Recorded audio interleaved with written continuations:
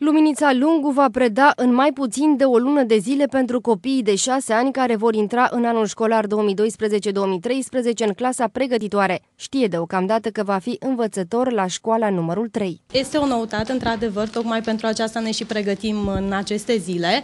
Personal, cred că am un avantaj, deoarece am funcționat și pe grădiniță. Așadar, am fost 2 ani de zile educatoare la clasa, la grupa pregătitoare și atunci cred că o să-mi fie mult mai ușor anul acesta. Cursurile de perfecționare care sunt o adevărată gură de oxigen pentru dascăli, în condițiile în care deocamdată nu au aflat ce presupune clasa pregătitoare. Speră ca măcar acum să afle ce presupune metodologia, dar și care sunt metodele de predare. Așteptăm cât mai multe informații, pentru că nu cunoaștem, este pentru prima dată și sperăm că după această săptămână vom uh, înțelege mai bine cum să proiectăm și să organizăm desfășurarea la clasă. Zilele acestea participă la formare profesorii titulari care știu exact clasele la care vor preda, iar între 3 și 7 septembrie sunt așteptați la cursuri suplinitorii.